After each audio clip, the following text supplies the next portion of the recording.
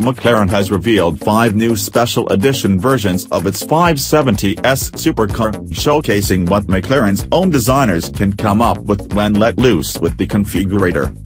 The five cars are part of the Design Edition range. Each one features a different combination of colors, wheels, materials and interiors to make them stand out, building on the by McLaren personalization packages already offered. For now, McLaren has only released pictures of Design Edition 1. This model comes finished in a striking vermilion red, combined with five spoke wheels in diamond cut finish, red brake calipers and black stealth exhausts. Inside it gets an interior to match the red paint finish, using McLaren's ready-made jet black and Apex red color scheme.